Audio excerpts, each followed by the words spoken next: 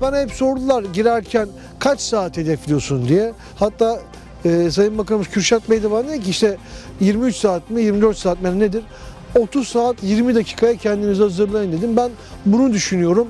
Bunu yaparsak bu bir gerçek rekor. Daha önce dediğim gibi hani bir Türk dünyaya bedeldir. İşte böyle bedel oluyoruz biz. Çünkü biz onların yaptığını ikiye katlayarak devam ediyoruz. Aşağıda nefes almak en zor şeydi. Zira şu an şakaklarım şişmiş vaziyette. Kuru elbise 30 saat boyunca yaptığı presten dolayı bazı anlarda yani nefes mi alıyorum yoksa boğuluyor muyumun arasında gidip geldim.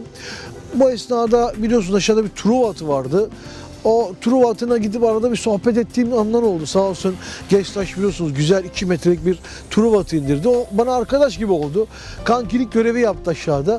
Onunla sohbet ettik, muhabbet ettik. Onun dışında ilk defa bu rekorda yemek yemedim aşağıda.